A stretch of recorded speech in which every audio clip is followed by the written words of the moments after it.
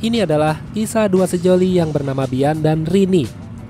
Mereka sedang melakukan perjalanan dari Bogor menuju ke Semarang untuk pengurusan sertifikat di notaris. Kebetulan rumah orang tua Rini juga berada di Semarang. Jadi perjalanan ini sekaligus untuk menjenguk. Untuk menuju ke Semarang, Bian memutuskan untuk menggunakan jalur alas roban dengan alasan Bian ini orangnya penasaran akan cerita misteri yang sering banget dia dengar di televisi atau berita di internet. Maka dia ingin tahu, melihat sendiri, seperti apa sih jalur alas roban itu. Saat berada di jalur tersebut, suasana dan pemandangannya masih benar-benar hutan yang lebat dan pepohonan yang sangat tinggi. Karena cukup minim penerangan dan jam telah menunjukkan pukul 10 malam, maka Bian harus berhati-hati dalam berkendara. Takutnya ada orang yang nyebrang atau menabrak kawanan monyet yang setiap saat bisa muncul mendadak. Selama perjalanan, Rini berkata, Biasa aja jalurnya, gak ada apa-apa gini. Orang kita mah banyak yang lebay kalau soal cerita mistis. Bian menjawab, Iya ya, padahal lihat deh, kanan kirinya itu cuman hutan, Emang sih rada gelap. Buat yang penakut sih, iya kelihatannya serem. Tidak lama, Bian mendengar sesuatu.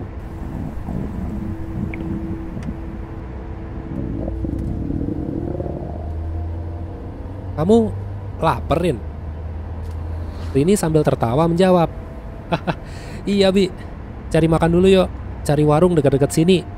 Sate boleh, soto boleh, mie juga boleh. Sekalian deh, kamu rehat dulu lah. Kasian itu kamu capek nyetir.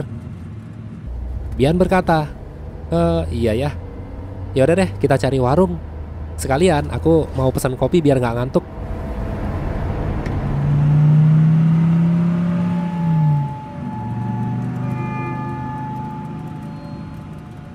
Lima menit kemudian, mereka melipir ke sebuah warung di jalur tersebut dan segera memesan makanan dan minuman.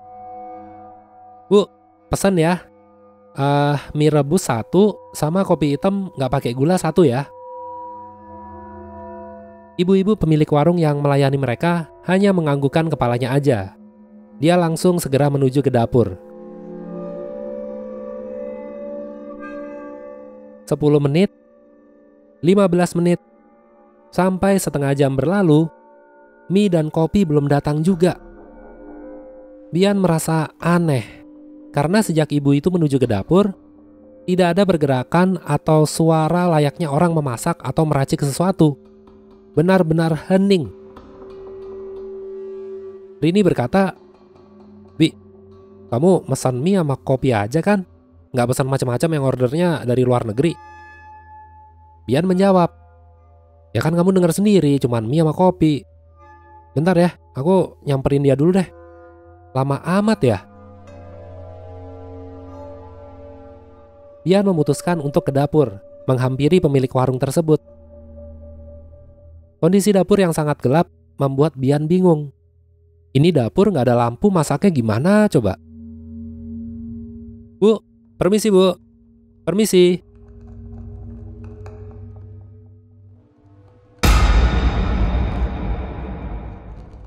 Samar-samar, Bian melihat bayangan dari kegelapan ada sesuatu yang menggantung di tiang penyangga warung tersebut.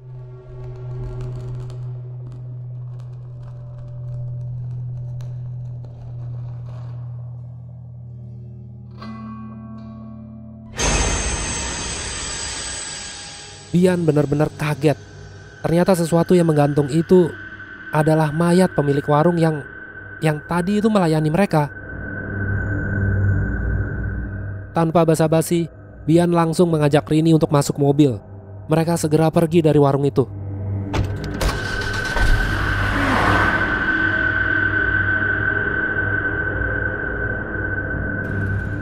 Kira-kira 500 meter kemudian, saat Bian memarkirkan mobilnya untuk menenangkan diri,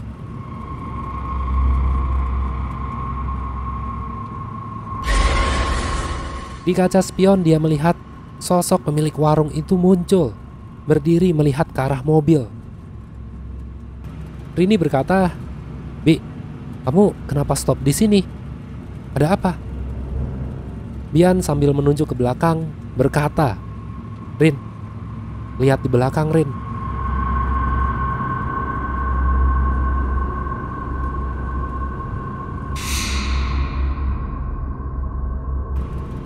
Rini sangat kaget. Bi, itu kan ibu yang ada di warung. Kok dia bisa ada di situ? Tiba-tiba kepala ibu itu terjatuh, menggelinding di jalan. Sontak, Bian langsung tancap gas dan meninggalkan lokasi tersebut.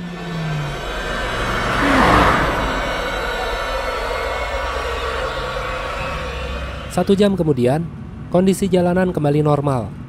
Tidak ada lagi gangguan dari sosok misterius yang mengikuti mereka dari warung yang tadi mereka singgahi. Tapi, mereka menemui seorang anak muda melambaikan tangan dari kejauhan. Rini berkata, Coba stop dulu deh, Bi. Tanyain tuh ada apaan. Bian berhenti dan membuka kaca.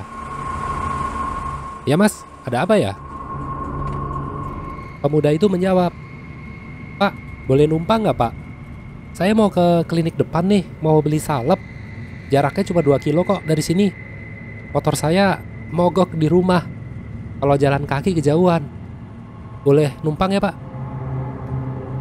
Karena cukup meyakinkan, maka Bian memberi tumpangan pada pemuda tersebut. Selama perjalanan, Bian mengajak bicara pemuda itu. Namun dia hanya mengangguk menggelengkan kepala dan tersenyum. Gelagatnya agak berbeda dari pertama dia meminta tumpangan. Rini agak sedikit curiga nih. Ditambah lagi warna kulit pemuda itu terlihat pucat seperti orang sakit. Setelah dua kilo, pemuda itu berucap, Pak, saya turun di sini aja pak. Bian agak kebingungan karena nggak ada klinik, nggak ada ruko, maupun bangunan apa pun di sini. Mas, nggak salah nih. Nggak ada klinik apa-apa di sini, Mas. Pemuda itu hanya menjawab, Makasih ya, Pak.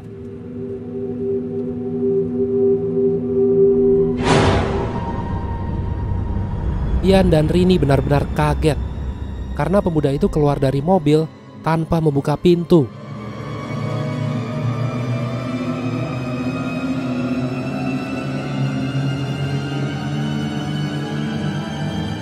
Saat mereka melihat ke depan,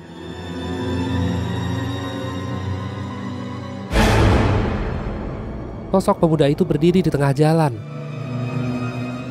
Bian melihat kaki pemuda itu menjadi sangat besar dan berbulu. Sosoknya perlahan berubah menjadi sangat tinggi.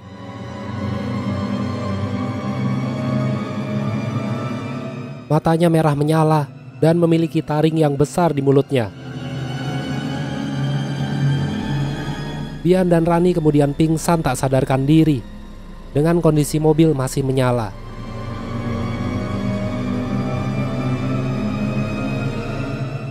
Oh ya, bagi kalian yang punya pengalaman, kisah, atau cerita mistis, coba aja di-share. Caranya gimana? Kirim aja ke alamat email yang tertera di kolom deskripsi.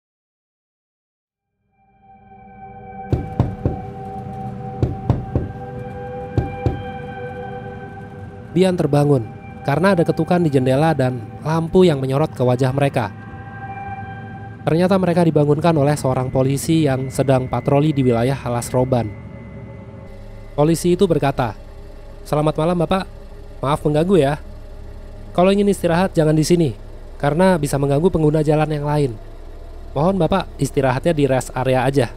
Jaraknya kira-kira satu kilometer dari sini." Ian menjawab, "Oh, Iya pak, baik pak. Dengan segera, Bian melanjutkan perjalanannya menuju ke Semarang.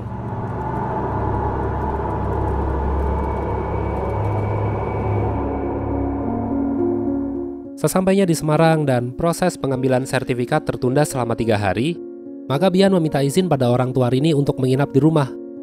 Ya, hitung-hitung lebih hemat daripada harus menginap di hotel. Kebetulan kamar adiknya Rini kosong semenjak adiknya bekerja di Bekasi, Jawa Barat. Maka Bian bisa menginap untuk sementara.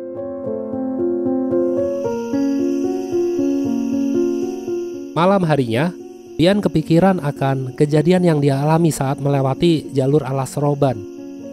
Siapa pemilik warung itu sebenarnya? Kenapa dia menggantung dan kepalanya putus di tengah jalan? Lalu, siapa pula pemuda yang meminta tumpangan menuju ke klinik itu? Kenapa wujudnya berubah menjadi sangat seram?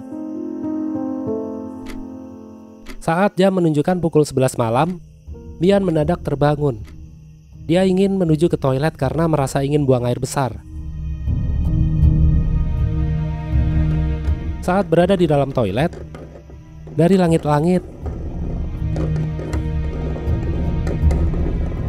dia mendengar seperti suara orang menggaruk.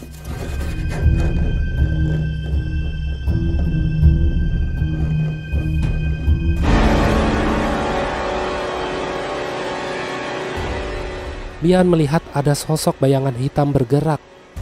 Ada mata yang seolah menatap dirinya.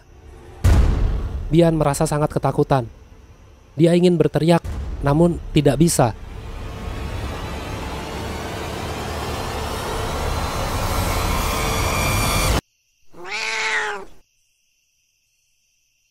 Bian merasa lega karena bayangan itu ternyata hanyalah seekor kucing. Cerita di bagian ini hanyalah tambahan dari saya sendiri, biar seru. Setelah pengurusan dokumen selesai, Bian pamit pada orang tua Rini untuk segera kembali ke kota Bogor. Tapi karena pengalaman pahit yang mereka alami sebelumnya, perjalanan pulang mereka sudah pasti tidak melewati jalur yang sama.